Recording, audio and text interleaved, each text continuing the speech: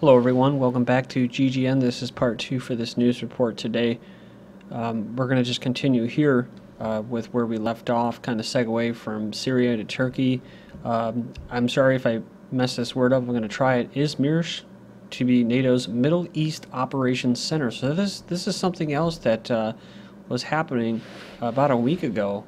Besides these Patriot missiles going to Turkey, NATO's Allied Land Command will begin operations today in Izmir, serves, serving as the alliance sole land forces command. All Middle Eastern operations will from here on out be coordinated from this from this city.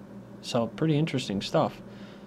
It goes on as part of a new command structure that will begin operating today. The base will act as the alliance sole land forces it goes on where coordination for troops in Afghanistan and Middle East will be conducted.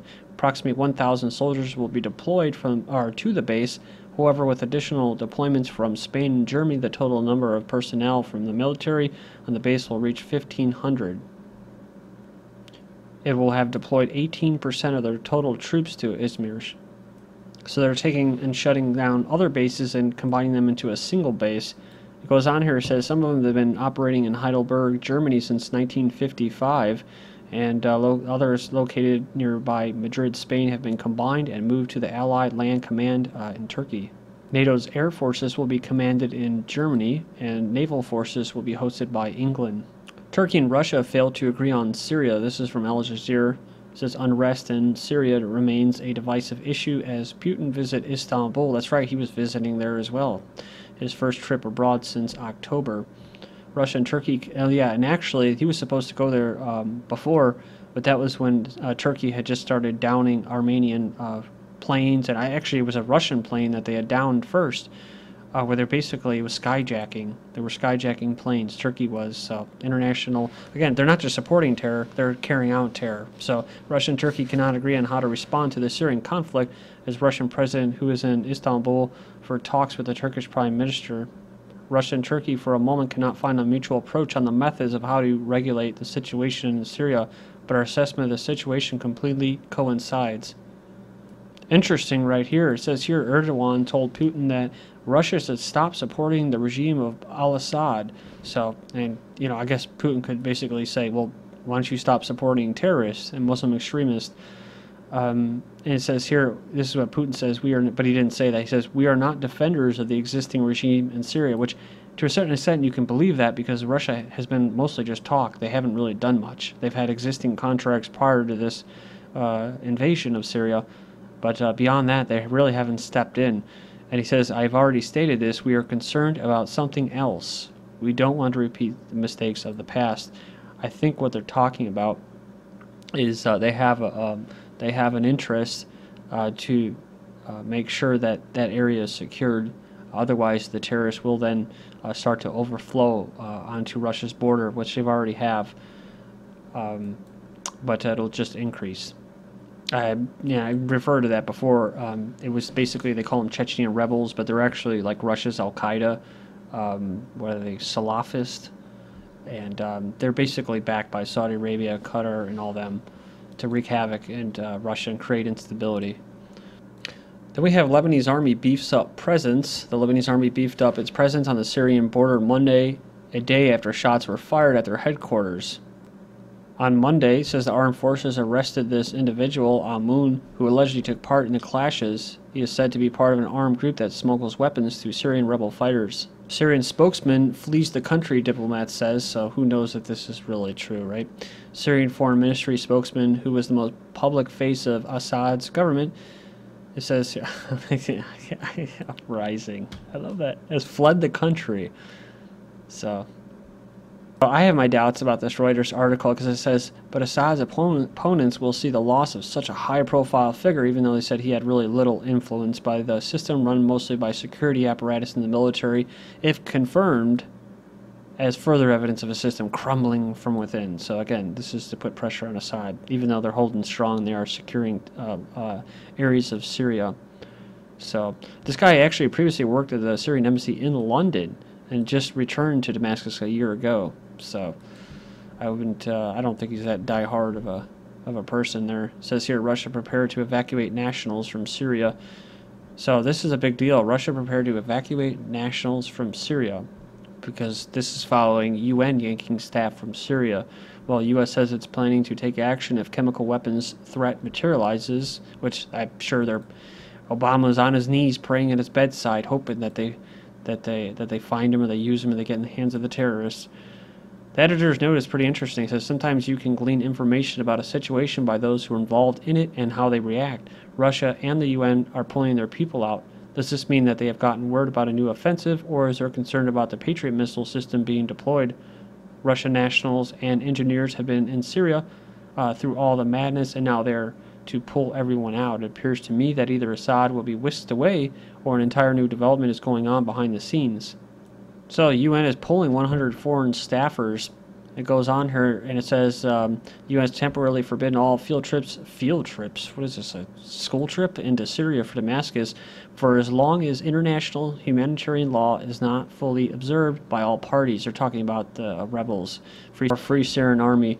Um, the thing is, is that when the United Nations was there, uh, they would actually be with the Syrian government army forces for protection and um, usually when they got hurt or there was just too much violence, it was on the hands of the of the rebels. So, just like the ceasefire with Israel and Palestine, what happened? Well, Israel assassinated Hamas leader right when the ceasefire, uh, or not a ceasefire, but a peace negotiation was was was basically drafted, about to be signed, and then they, they assassinated the Hamas leader, and then everything sparked off, and Israel played the big uh, the big victim and said, "Oh, we're being attacked." So. Uh, same thing with Syria. Remember that whole thing about the uh, the peace negotiation? There's supposed to be a couple days of, uh, of ceasefire. Well, guess who ruined it? Well, they didn't really ruin it. They never actually conceded to a ceasefire. Talking about the Western-backed rebel terrorists. They. All right. Then next up, thousands of jihadists joining Syrian rebels. Radical clerics are calling on jihadists to join the fight against Assad. Ironically, with U.S. help. More and more Islamic jihadists or holy warriors are joining the rebellion in Syria, like I said, it's not really a rebellion, it's an invasion by foreign mercenaries and terrorists in Syria to overthrow the government of Assad following the advice of radical clerics and other leaders of terrorist networks. The afterlife is the only thing that matters to me, and I can only reach it by waging jihad, a rebel fighter in Syria said. So, uh, a fellow at the Washington Institute for Near East Policy estimates there could be up to 3,000 foreign jihadists fighting in Syria. According to U.S. officials and Middle East diplomats speaking to the New York Times, most of the arms shipped at the behest of Saudi Arabia and Qatar to supply Syrian rebel groups fighting against Assad are going to hardline Islamic jihadists. And they they know this. They they understand this. The evidence is mounting that Syria has become a magnet for Sunni extremists. So it's like they put all the hand all the weapons in the hands of all of the uh, tribes or sects of tribes in Libya, um, all the ones that were uh, basically not with Gaddafi's or other ones in other areas.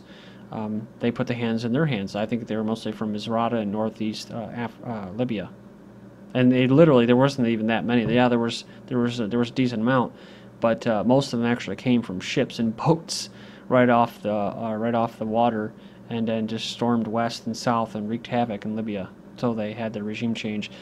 U.S. officials signals end to war against Al Qaeda. So we've heard this before, right?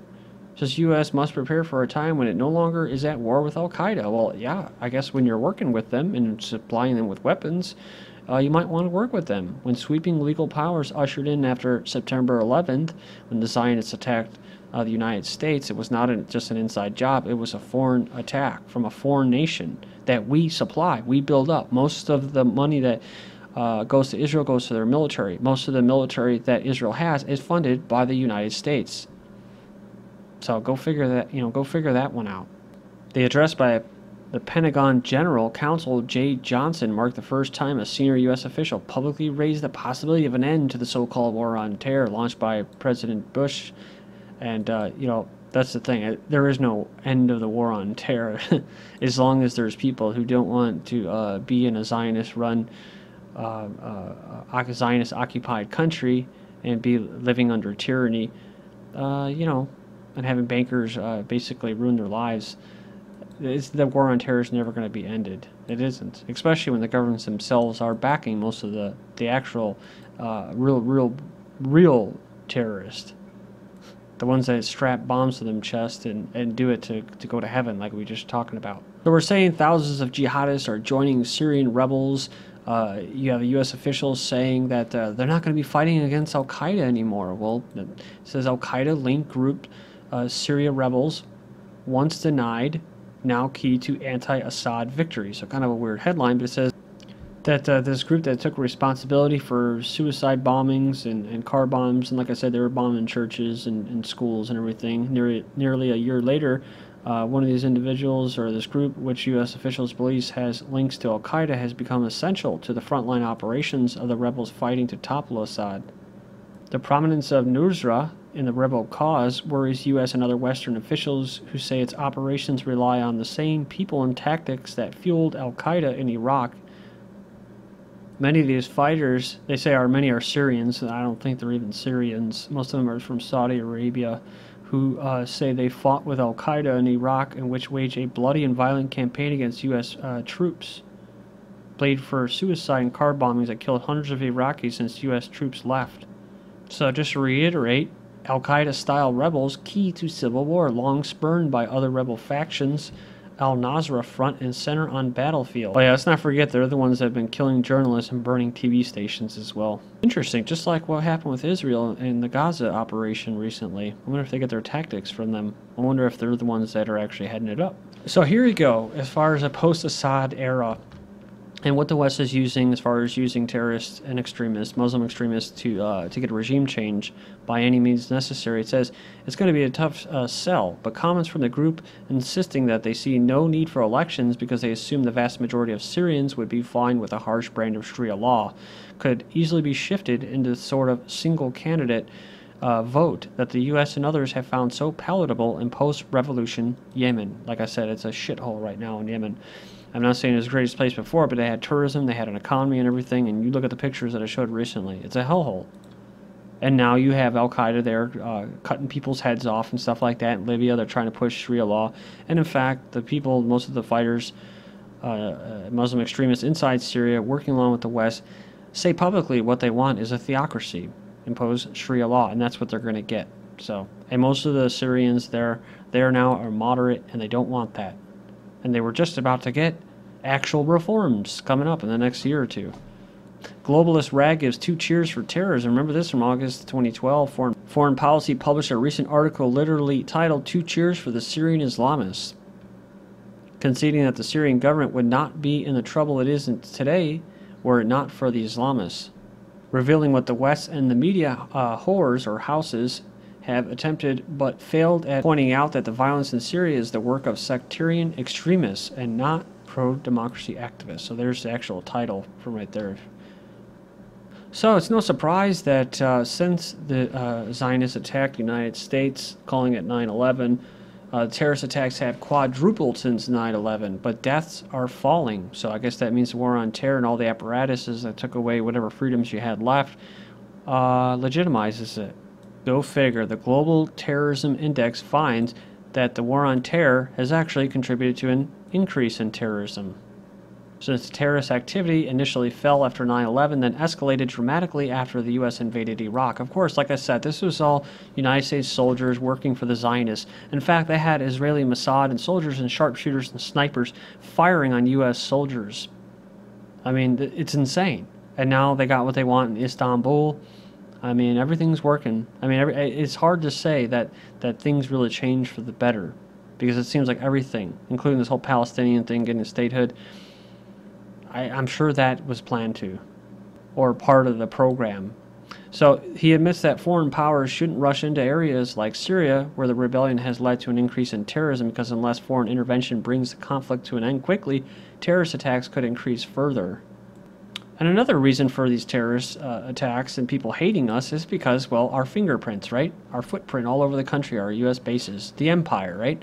Senator Graham, a neocon and Zionist, slams light footprint of U.S. security wide, says lack of security could mean more Benghazis. So instead of just getting the hell out of there and reducing your presence, uh, you, you, you need to increase it, see? Another Zionist that I just talked about, Feinstein, commissions report on housing Guantanamo Bay detainees in U.S., calls it a viable option, so yeah.